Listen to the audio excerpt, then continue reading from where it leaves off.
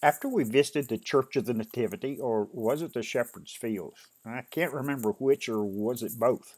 We ate at the Grotto restaurant in Palestine. There I spotted beer on the bar and learned it was brewed in Taybeh, Palestine, and it was good. I decided then and there, before I went on to, to Jordan to see Petra and Jerash, I had to visit that brewery. Around 2,000 people live in Taybeh at an altitude just below 3,000 feet above sea level. According to Time magazine, in 2009, it is the last all Christian community in the West Bank. Taybeh Brewing is a family owned business established in 1994 following the Oslo Peace Agreement. The goal was to invest and boost the local economy by introducing new styles of natural, handcrafted microbrewed beers according to German purity law, with no preservatives or additives, making an excellent Palestinian beer while creating a nationalistic feeling. Madees, the daughter of the founder, the only female brewer in Palestine, showed me around the brewery. I was quite surprised to learn that Taybeh has an Oktoberfest attended by people from all over the world. Someday I hope to make that festival. About a minute away is Taybeh Winery, where Buthina told me all about how wine is made. The winery is located on the first floor of the lovely Taybeh Golden Hotel. I'll put links to all of this in the description. Well, that, they must be brewing today. Spent grain. Yeah, When did you start? 1994, right after the Oslo Accords. We were the first microbrewery in the Middle East, and now we do seven types of beer. We have a golden, which is probably what you uh, sampled in uh, Beit Sahur. It's our first type and best selling with 5% alcohol. We have a dark with 6% alcohol. We have an amber with 5.5%. We have a light with 3.8%. We have a non-alcohol with 0.0%.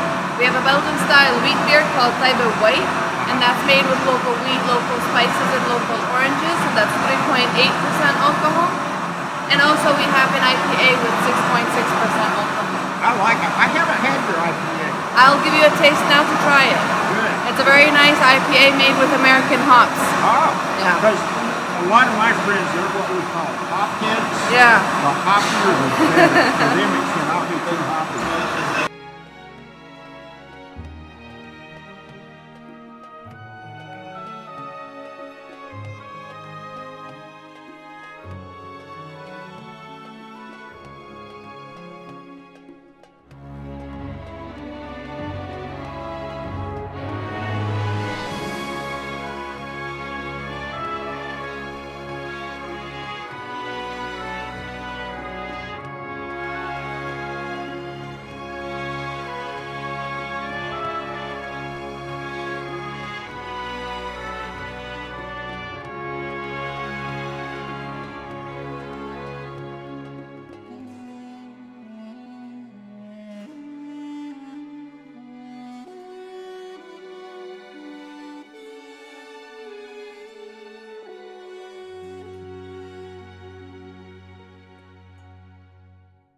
Okay, so welcome to Taybeh Winery in Taybeh, Ramallah. Um, our uh, wine, uh, our grapes comes from the local market, which means from the nearby villages like Aboud, Jifna, Birzeit, Hebron as well. I don't know if you're familiar with those names. Uh, during the harvest season, they bring them in big pallets. The harvest season is September, October. Uh, we have workers on both sides of this table.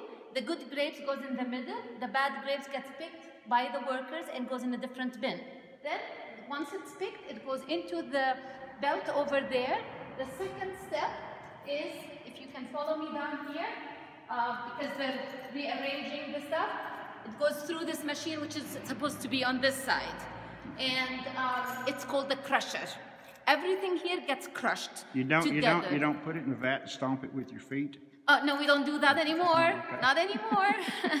That's uh, during the old days. Old school. Yes, the old school. Now it's everything is more modernized. So through the crusher, everything gets crushed with the skin and the seeds, and then it goes into the tanks over there. As you could see, there's a red wine over here. That's the red grapes. The white grapes is done differently. Once it's crushed, it goes into the separation machine, which is right here, and it gets separated, the skin and the seeds from the juice. Only the juice that goes to the tanks. Now that's with the white wine you That's the white wine. We The separate it right wine- away. The red wine, it goes to the tanks with everything until it's fermented, and Got it. then it goes to the separation machine. Got it. Got it, exactly.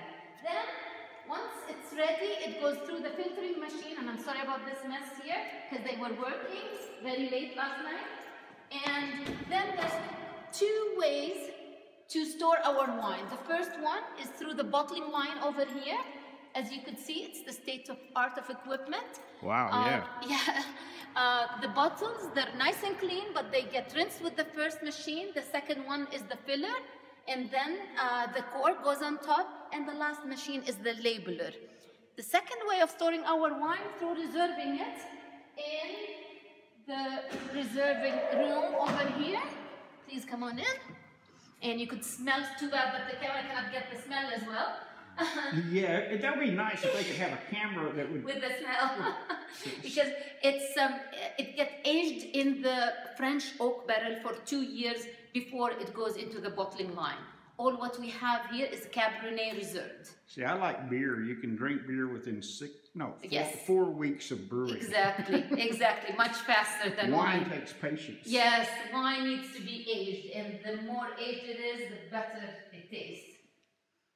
Wow, that's a lot of barrels of wine. That's a lot of barrels of wine. You're right about that. And if you go this way, I can continue about our our uh, label. I'll tell you the story. Please come on in. Okay, so you see, um, you see the. Let me explain it here. It's better, maybe it's easier. You see the grape tree. It represents the Khoury family tree. The first branch is Nadim. Nadim in Arabic means your companion buddy, the person who sits with you in the bar and have a drink. Nadim is the master brewer who started the beer in 1994, just right after Oslo, and opened Taybeh Beer. And now, in three years, uh, after that, three years before, he had started the winery. And that's why the family thought that Nadim was born with the mission to make everybody happy making beer and making They asked him to name the first branch under his name. And that's why we have Nadim here. And the kinds we, oh, this is by the way the cork that we use, and you could see it's the classical way of cork, uh, no plastic, nothing. And um, that's the tree that the cork comes out of. okay. And it's done by handmade by women. Actually, they spend days and days to do it. Wow. It gets exported. Of course, we uh, we don't we don't have it here in Palestine. Um, okay, so the kinds of wine we have, as you could see, the black label is the one that aged for two years. That's the reserved Cabernet. It stays in the tanks in the French oak barrels for a couple of years. And uh, then we have Syrah. Uh, then we have Cabernet over there. And we have Merlot right here. And let me just show you what we have produced recently as a local grape, indigenous grape. Uh, it's called Bituni. And Bituni comes from Bitunia. It's a local grape that you don't find it anywhere. Uh, wine that made out of local grape 100% because all the grapes here are local, but they're international, lo- uh, grown locally. The, the Bituni and Zaini, the white over there, uh, which turned out to be very, very successful. We ran out of even the amount that we produced. So uh, Zaini comes from Hebron. Both of them are uh, wine that you will not find anywhere else except in Taybeh Winery.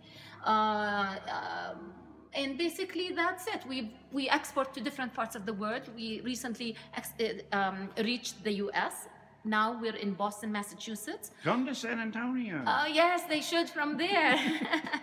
and also, we export to uh, Italy, Denmark, Sweden, uh, Spain, Japan as well. That's awesome. And we've been having the Taybeh Oktoberfest. I don't know if, uh, if they mentioned that Yes, already to you. uh-huh. So I don't have to tell you a I to come about back it. in October. Yes, please, you should, because so many people actually they make their vacation around those two days. Uh-huh. It's a good weekend that people enjoy very much. Oktoberfest in Palestine. That Yes, would- that would yes, Palestinian style too. You know, nice music, national dancing Uh-huh. groups, and good wine and beer, as well as local food. Thank you. You're welcome, pleasure.